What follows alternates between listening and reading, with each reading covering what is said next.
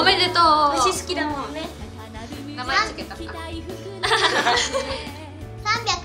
度回る。ジェットコースターに乗ったメガンです。すごい。怖っ。どこで乗ったの？ディズニーランド。いいなぁ行きはい。お姉ちゃんの服を着ているかなです。お姉ちゃんの服。姉ちゃんの服ですたい2割が自分の服。そう。入道雲が大好きなサナです。かわいい。はい、宿題が終わっていない。みゆきです。よろしくお願いします。は 結構ピンチ頑張れ。ピンチ。頑張れ頑張れピントークコーナー行ってみよう。い、はい。はい、はい、あ。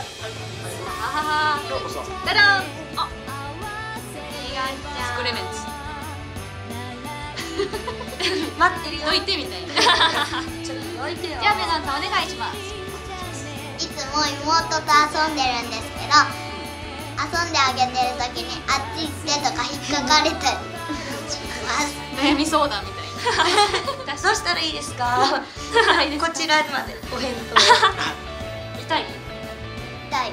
答前噛まれてて結構気づいてたもんね。悲しい？あやちゃんと一緒だ。お悩み相談。お悩み相談。猫の剣と妹のキーお願いします。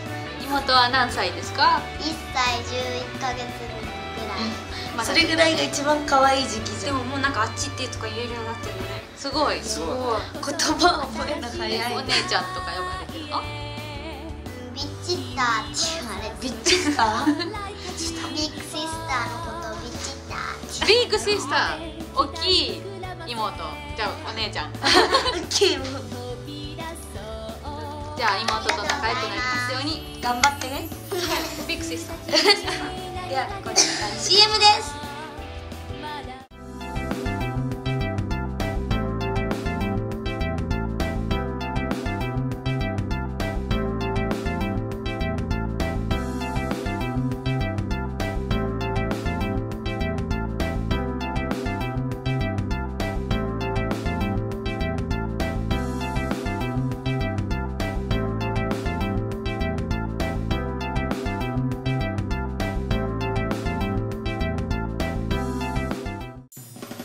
ハッピープラネットコーナーイエーイ地球をキラキラに輝かせたい。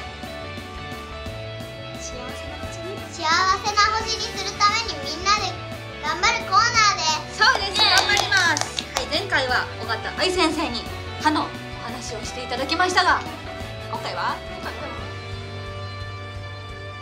今回はフェアトレードです。そうフェアトレーはい引き続き貧困問題についてです。フェアトレードってどんな意味？フェアトレードっていうのは、あとりあえず映像を見ていただきましょうでは VTR どうぞ。ご覧ください。スマイリングチャンネル。止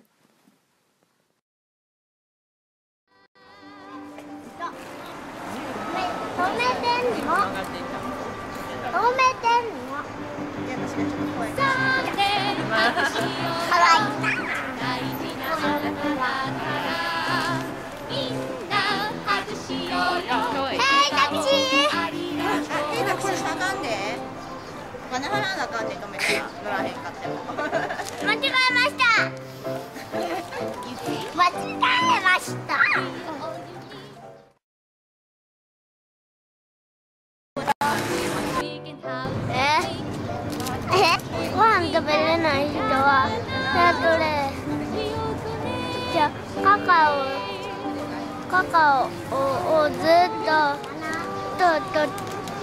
ってる小学生とかのこと。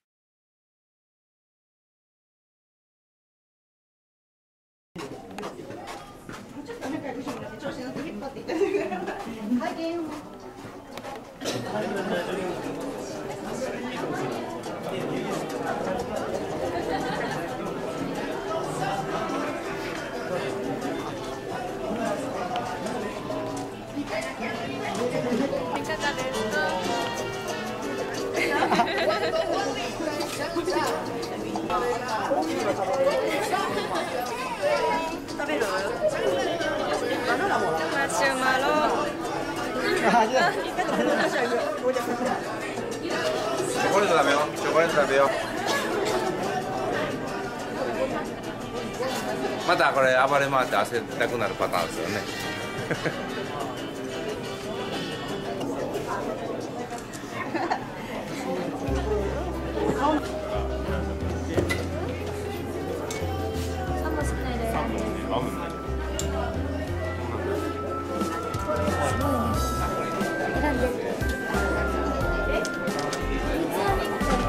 最初三つ編みして後でちょっと教えるから難しい編み方何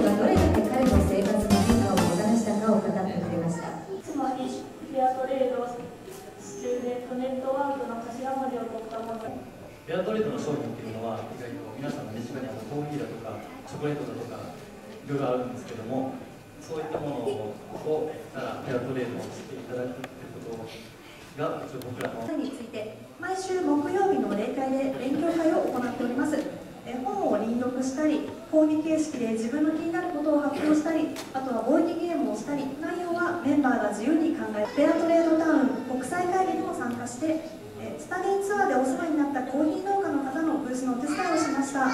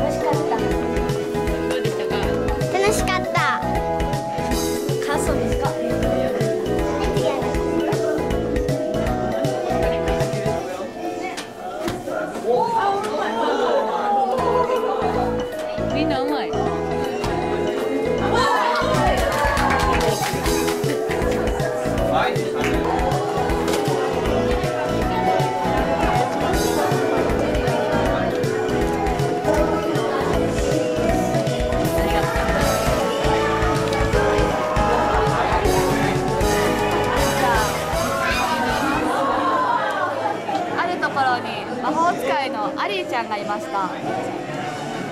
アリーちゃんはチョコレートが大好きだったのでしょっちゅう魔法を使ってはチョコレートを出し食べていました。何度も魔法を使いチョコレートを食べている時どこからかおばあちゃんの声が聞こえてきました。アリーちゃんそんなに何度も同じ魔法を使っていると魔法が使えなくなるよ。そんなの嘘だ。アリーちゃんはおばあちゃんの言ったことを聞かず何度も魔法を使いチョコレートを食べました。するとある日おばあちゃんの言う通り本当に魔法が使えなくなったのです。どうして？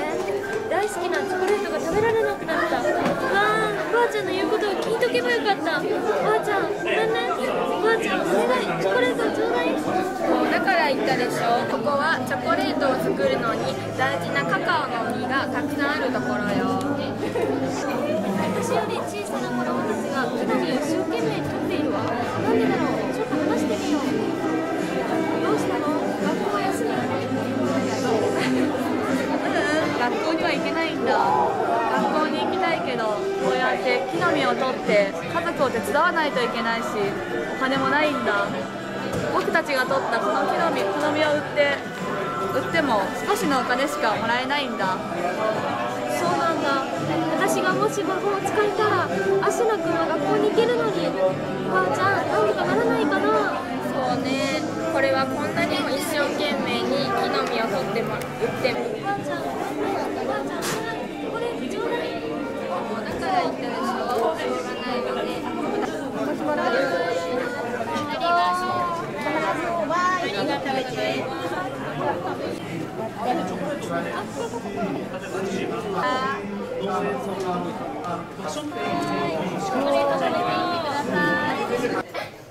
こんにちは。名前は名前は岡正幸喜と言います。何歳ですか？21歳です恋人は恋人ですか。恋人ちょっと今いないです。僕は神戸国際大学の大学ですフェアトレードっていうのも推進クラブなんですけどフェアトレード知ってる知ってる？ほんまに。そのフェアトレードってやつをみんなに知ってもらうためにいろんな活動をして今日だったら参加作ってもらってそうそうこれをこれ作ってもらってみんなにフェアトレードを知ってもらう頑張ってます。彼女いやそれさっき聞聞かれませんでしたね。デジャブかいないって言ったんですけどいないです。大きい夢からちっちゃい夢から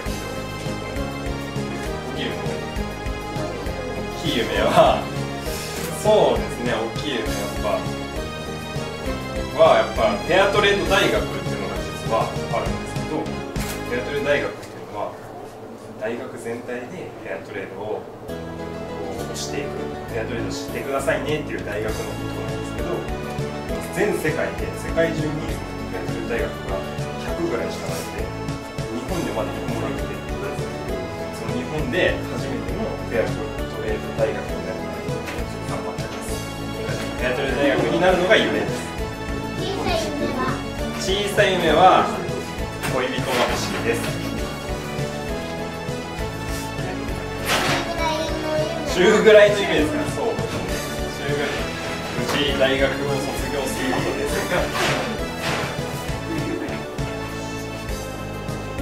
嫌なことは嫌なこと嫌なこと嫌い嫌なことね。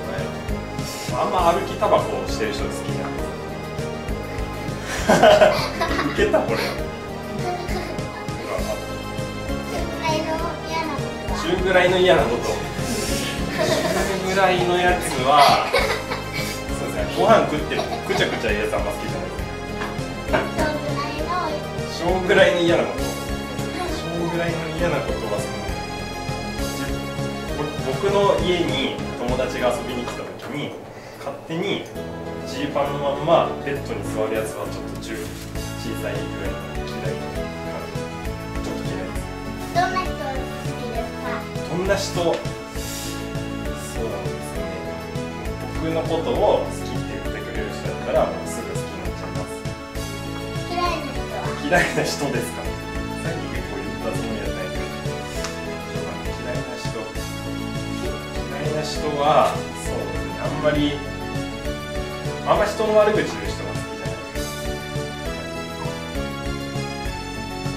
女の人は あんま好きじゃないですかいや品川の人大好きです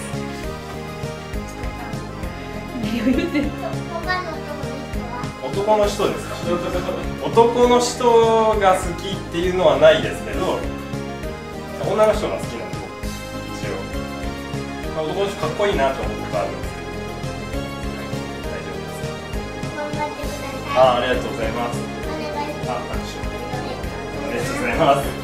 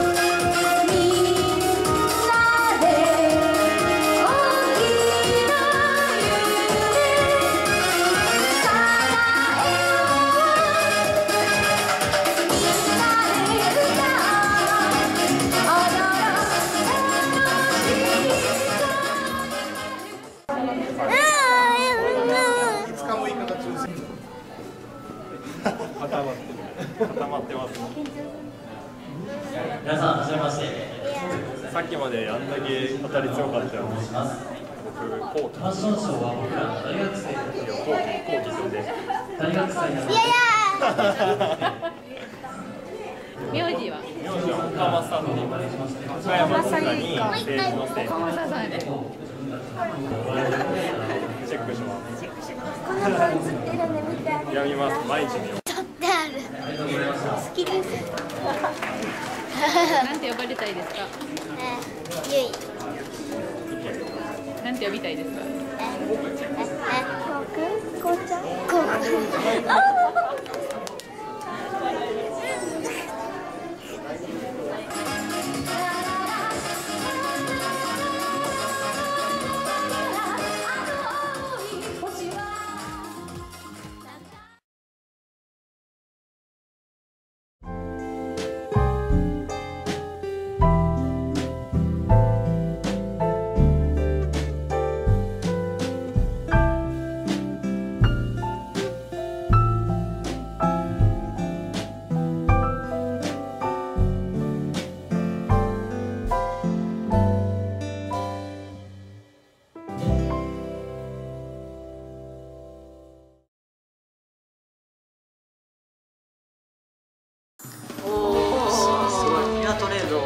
したくなったね。確かに。ヒロ君もなってほしいぐらいなんかすごかった。広まってくれたのね。ね。大学生頑張ってたし。よしということで次のコーナーいきますか。はい。いいね。いきますか。いきますかいきますか。いきますかいきますか。恒例の膝。よし。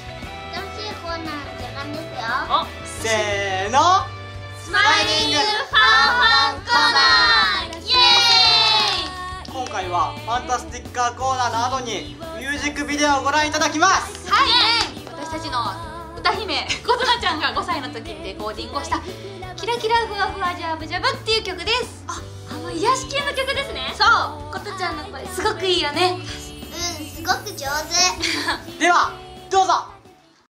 素敵な人に会いに行こう。ファンタスティッカーコーナー。ということで今日は響美香さんを紹介したいと思います。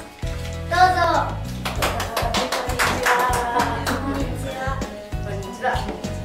どんな活動をしているか教えてもらっていいですか、えっと大阪と京都の方でボーカル講師歌の先生とあと高齢者施設の方にデビュー賞を届ける仕事をしています。すごいですね。ありがとう。どんな気持ちでやっているか教えてもらっていいですか？えっと私がね4年前に難病のパーキンソン病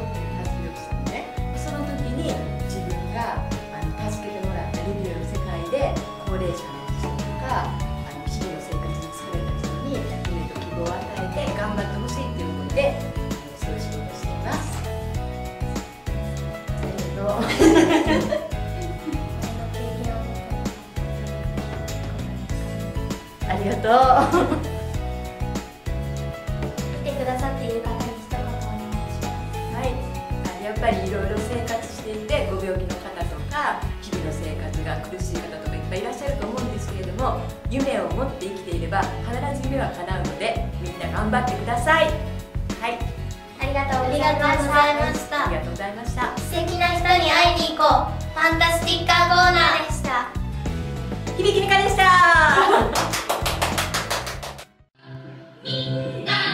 ハイリングチャンネル